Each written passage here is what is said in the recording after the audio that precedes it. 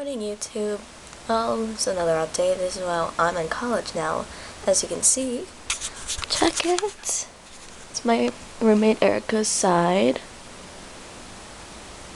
Look at how neat that is. And then this is my stupid side. My parents didn't think all of this would fit. I literally have like three drawers that are empty. My mirror, my shower caddy, my mirror, and look at that crack. Oh, heads up. Easy hair volume, no tutorial, just sleep wet with wet hair.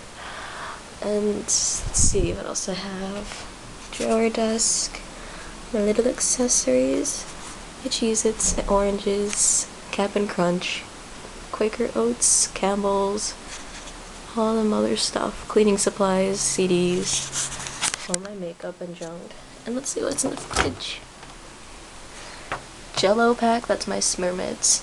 Water, which is over here. Soda we stole from Target last night, which is really cheap and no, it was actually free. And Coke I brought from home. So that's that. Nothing in the freezer. How pathetic. Then I also got a Kitty notebook.